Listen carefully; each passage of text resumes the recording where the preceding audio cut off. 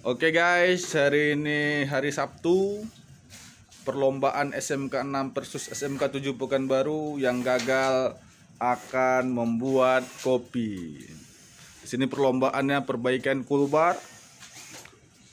Di sudut biru SMK 6 ada Hafiz Nasution lawan dan Jidan Hermawan.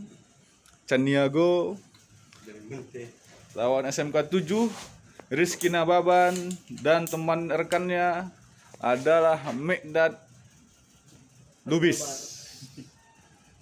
yang kalah akan membuat kopi perbaikan kulbar Jangan.